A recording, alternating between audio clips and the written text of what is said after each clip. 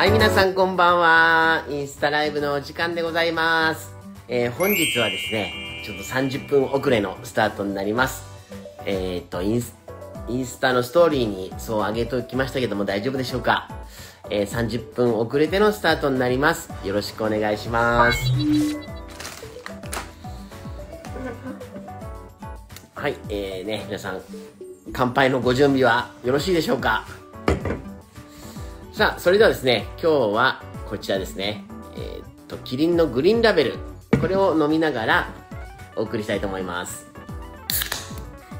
さあ、皆さん、乾杯いただきます。あー、美味しい。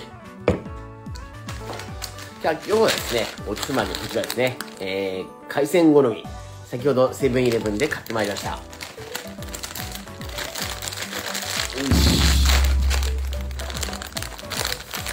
さあ、これを食べながらいただきたいと思います。じゃあ、えー、早速インスタライブスタートしていきたいと思います。医療法人リミ理事長、鎌倉女子大学教授、令和の虎の虎、木下博和です。えー、皆さんこんにちは。えー、4日に風呂入っていない、どうも、ちいじでございます。おい、汚ねえな、おい。お願いしますよ。よろしくでもなんでもないだろ、お前。え？なんで風呂入ってないの？いや、なんか、まあ、ノリで？キモいよ、お前。ノリでいや、だから、その、いや、わ、気づいちゃったんですよ。でか、もう、一言言っていいですか？はい、どうぞ。まず、風呂ってま毎日入るもんじゃないですよ。いや、マグハイもんが。いや、そんなことないですよ。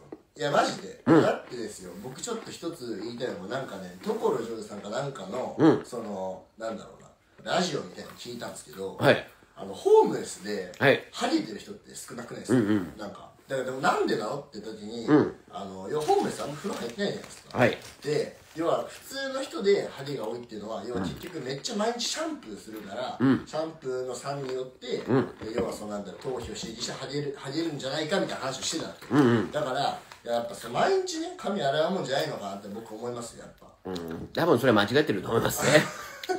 いやでもななんじゃなんでホームレスハゲてないのじゃいや、そんな、絶対わかんないよ、そんなことは。ああそう、うん。それは、ハゲてる人もいるよ。いやそれいるかもわかんないうんうん。まあまあということで、私はまだ若いので入れないということを、えー思って、えー、風呂に入っておりませんあ、すいません。違うよね。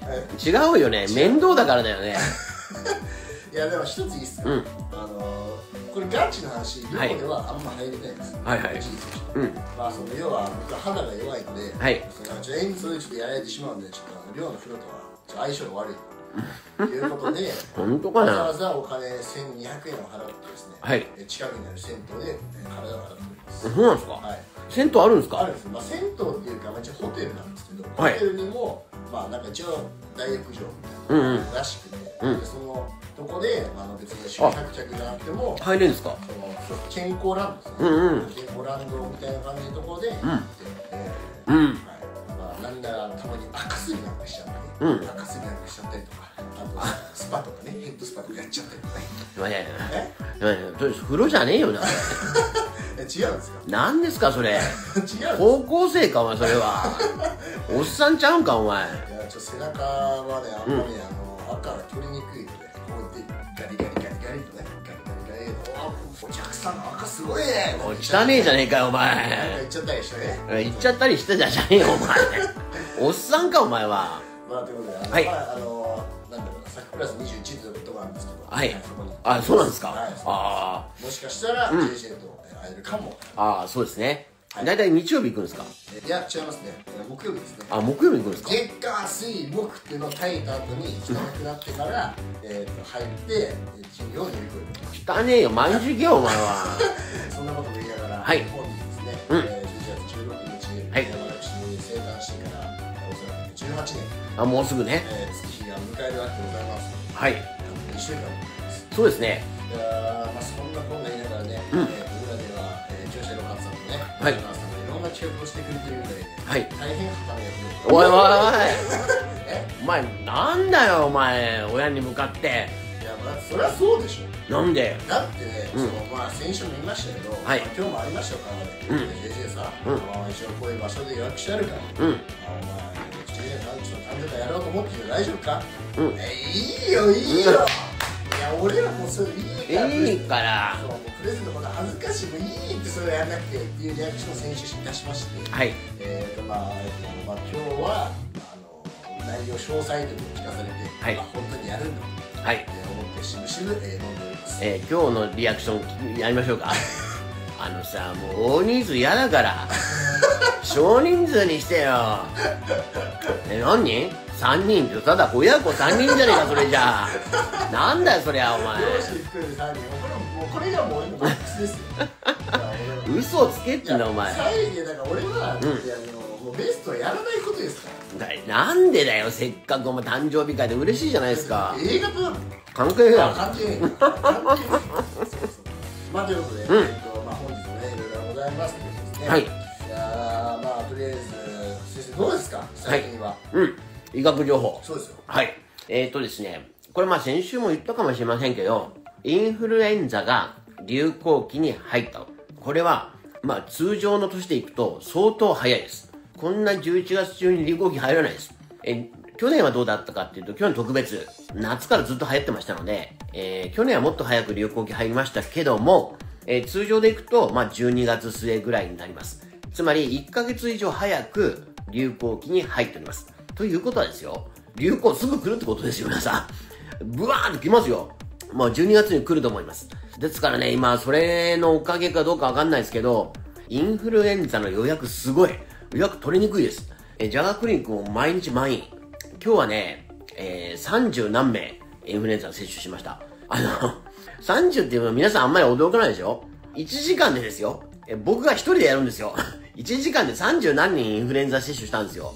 めちゃめちゃ早い。めちゃめちゃ効率的にやらないとできません。えそのぐらい今、インフルエンザが流行ってきました。それから、コロナも一時期はぐーんと減ってたのが、ちょっとそこを打って少し増えてきましたね。いやー、ダブル感染間違いないんじゃないかな、という気はしております。さあ、えー、まゆま、まゆたんさん、バッチコニューありがとうございます。せーのイエーイ。なんかリアクション変わったのい。いね。変わったな変わったな今日。なんなんなんですけどなんかゲッツみたいな時だね。大丈夫かな？ははい。さあ行きましょうか。コメント。いはい。リスマルさん。はい。湯船に浸かると疲れと取れますよね。うん。こうやってねはいこう、う湯船ありますよはい。そこにね座ってこうじゃらーあーって声が出るんですよ。すいませんすいません。おっさんかお前は。おっさん？17歳のリアクションじゃねえだろそれ。頭にね白いタオル置いて嘘をつけってんだよお前。あーなるんですよ。それは YouTube かなんかで見たんだろあとまああの、うん。あの露天風呂あるんですよ。はいはい。露天風呂に。うん。あの要はホームなんか室内から、うん。外にねまあても寒いじゃないですか。あ寒いですねガチャッと開けてうわーって来てうわー寒いなってそこにね、あるんですよ。はい温泉が。だからもう走ってねもうザバーって行きますよこれ、はいはいすいませんね本当にね。ダメなんですよ。本当にダメなことばっかりやってんじゃねえかよお前ダは。当たり前だろお前。中にねあうん。の、このお客さんうん。うわーブシャーって顔にすいません迷惑だから。頼みますよ。当たり前ですよ、まあ、そういうことやめてくださいねほんまはいはい。やめますか？じゃねえ。やめやったらダメなんだよお前。まあということでまあまあインフルエンザもね、これはもう、えーもうそろ押しかかるということで。ねだんだんだんだん近づいてきてますので皆さんご注意ください。勝利ということで、はい。まあ、うちの学校でもですね、うん。えーマスクがね、うん。結構最近流行っていまして、あ受験生だからね。高校3年生でしかもやっぱ、はみんななんていうのかな学校のその主導でというか、インフルエンザワクチン受けましょう。みたいな感じで、結構そこで、えー、といっぺんにそのみんなが打ったりうんうん。そこでこの間打ったんだけどみたいな話をしましてね。なるほど。今週は JJ 君は？僕は、うん。打ってないですうん。あの先に注射を打ったんで、はい。あの予防接種受けております。の警備でね、はい。鼻で。この新しいパターンね。そうですね新しいパターンですね。従来ではない痛い痛い注射ではなく。痛い痛いってなんだよお前。この鼻でシュッとするパターンね、うん。あの2つともやりますということで。はいはい。あのそれまあ注射のリールの方で上がっておりますので。はい。はい、えーぜひ、えー、これご覧ください噛みながらなんかおかしいですけどね。はい。ということでもう来週テストですね。来週そうですね、うん。なんでもうあの、まあ、帰ってきたのって話なんですよあまあそうですよね。そうですうん。それはあの、まあ、実は、まあ、僕18を迎えるので、結婚式の準備。なんで結婚式なんだよお前。違うんですか？揉めるからまた。揉めるから。はい。揉めるから。まあ一応外せない用事がありまして、うん。まあ後でライブあって、はい。みんなの顔ちょっと見たいなと。あ本当ですか？見えないけど。見えないけど？ピーというふうにやりたいピーみたいななるほど。はいということで、うん。やるよ。うん。えー、サチさん二人ともトークがうます？ぎるいやもうねこれ始まるそうですね。2分前まで2人とも寝てたんですよ こんな大変ハイテンションで普通いけるさっきまで寝てたのに。いやそうなんですよ。あの親父もねあのすぐあの俺が起こしたんですよ。はい。俺32 32分だったのはい。ガチャって開けて。俺32分で大丈夫って言ったらえっ?」パサッパサッてバーンガタガタガタガタほんとすごい準備ですよね。もうすぐこいつ、うん。えじゃあ行くよって言って本番で。いこれねほんとさっきまで寝てたと思えないね自分でも。やもうかなり無理してましてますよね。まあだけど親父寝てるからねはい。しっかり、はい。かなり早めに寝てますそうですね。まあ、ちなみに遅れた理由ははい。親父の睡眠時間です。けど、完全に寝るために遅れてます。いや違います。本当はジャガーさんです。あそうですジャガーさんが帰るの遅くなるから30分遅らせてくれと昨日言ってたんですよ。もうそんなんねうん。もう人のせいにしちゃダメっちゅうそれ。おあタカさんタカさんタカさん来たか？人のせいにし石橋タカさん？ダメでしょそれは。えー、ちょっと若干似てないけど。はい。はいということで。えーステラさん看護師がワクチン打たないんですか？先生が打ってるのそれうちはそうですね。その方が早いからです。ああはい。そううちのね、うん。木下流の打ち方があるはい。はいね。うん。でっかいねこのね注射針うん。をサッていくんですよ、うん。それ違いますよ。違いますか？めちゃめちゃ痛えだろそれ。あの、まあ、木下流は、うん。まあ、およそ、えっとまあ、これはあの研究の調査によるとですね、うん。まあ、音速の速度で打ってるどんな法則でもねお子さんたちから大好評。そう。なぜならば、はい。これね秘訣また簡単な話です、はい。パッパッパッパッもう早いですからあんまり痛くないです。そうなんですよ。これでも大好評。いやそうあの木下流はまあ簡単に言うと早く打つなんです、はいはいそうなんですよ。まあ、それがいかにどれぐらい早いかっていうと、ん。大体まあボルトのスタートダッシュぐらい。どんだかわかんねえよそれじゃお前。え？どう考えてもそんな早く打てねえだろお前。いや無理無理無理そんなのそれは無理です。うん。まあということで、えーはい。皆さん F 面のワクチンもろとも、うんえージャガクリクお越しください。よろしくお願いします。ありがとうございますえー、スナイパー広勝。ああそうですね。早いからですね。パッパッとね。あそうなんですね。実は木下流さんね、はい。元傭兵といういやおかしいからどう見ても違うだろお前。え違うんです当たり前だろお前。医者にしか見れねえだろ。本当に狙撃手やったら、やってませんよ持ったこともないよ。それハッピースマさん、ご機嫌だね、うん。ね全然ですそんなことない。これなるようなね、えー、テンションバカに上がっております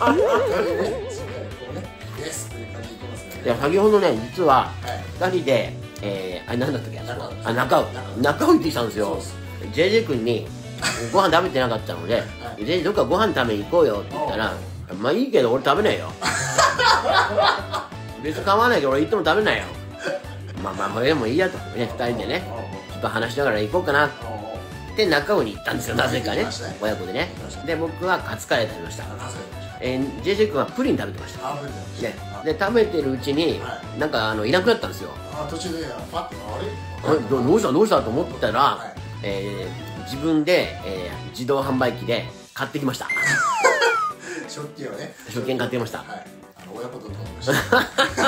食べてんじゃねえかよおい前や見てるうちにやっぱさ、食べたくなるやん。あなるんですね。カレーとかってちょっと食べたくならないさ、匂いとか。なる。さ。なるよね。カレーはなるね。しかも、親父ね、重大なミスを犯したんですよ。はいまあ親父って、まあ、の親父、まあ、みんな知ってるかわかんないけど、うんあの、米を食べないんですよ。そうあんま食べないんですよなぜならば、うんあの、胃もたれして調子が悪い。あそうなんですよ。これ本当にそうなんですよ。そのことが、うん。えー結婚後すぐ分かった、それ以降米を食べないようにしてるみたいなんですけど、えーそそこであの親父がねあの、まあ、カレーのルーを食べたい。カレーライスじゃん大体、うんうん。カレーってそうですね。思うん。ってでそれで親父はこのカレーのことが買ったわけ、はい。で俺要はあの食ったかなと思ったら米だけ残してるから「うん。あ親父米食わない食わないの?」って言ったら「いやだってさまあそのカレーしか食いたくないから。これ残いやいやすでしょ」言ってない言ってないけどねそんなふうにはね。言ってないけど。だからそれはカレー食べたかったって言ってたんですけど、うん。えそれだったらカレーのルーだけあるよ。はいはい。って言いまして、そしたら「え本当?」みたいなリアクションしたんですそうなんですよ。そしたら俺またなんか食いたくなった追加でねカレーのルーと唐揚げを2個頼みましたね。そうなんですよ。どんだけ食うんだよこの親子っていう。何回追加しとんねやっていういやいやいやそうなんですよ。2人で初めてね中尾行ったんですけど。あ言われてみそうかもね。そうなんですよ。美味しいですね。いやそうなんですいや本当美味しいですね中尾はね。いやなんかもやっぱ僕はね、人生多分300回近く言ってますね。言ってます確実になって。もう青春時代は中尾ですね。いやーそうなんですよ。ここでも恋愛でも何でもなく中ですね。なんかよくわかんないけどそうですね。最初はそうです、要は中学要は高校受験。はい中学生がよく飯田橋のねはい隣の近くに中尾にまあ1日2回は言ってましたね。昼バンって言ってました朝のてっぺんからずーっと中尾ね10時までね。はい勉強してました。勉強しました、うん。そこで僕はとあの食は全部中尾で賄って。るでもねそう考えたらかなりっていう。もう JJ 君の青春の味は中尾ですね。あそうですよ、うん。母の味ってないんだよ。よく言うじゃん実家帰って、お母さんのルー食べそうだね。あるね。うん。えー、なんと木下よかさんと僕は母の味あありません。は い本当ね僕も、まあ、母親本当にあの今一人暮らしじゃないですか。はい。はいなんか自分で料理作ってんのかなと思ってこれ見たら、はい。えー全く作りません。あ一回も作りません。やっぱりあのおかず買ってくるか電子レンジです。ああやっぱそうだ。やっぱりね作れないんですよおふくろは。珍しくないおばあちゃんおばあちゃん飯美味しいねどこの行ってもまあそうですかね。うちは真逆ですね、えー外食の方が美味しいですね。いやこれはまあ別に母親に関してもそうです、まあまあ。僕の子供ができても、うん。おばあちゃんってご飯作るのって言われたらまあもちろん作らないと答えるしかないまあしょうがないですよねそれはね。じゃあさんおそらく心の中にもう一と来てますね。これ確実に来てますね。まあでも仕方ないですいや昨日もねなんかジャガーさんカレー作ったらしいんですよ。ああそうですね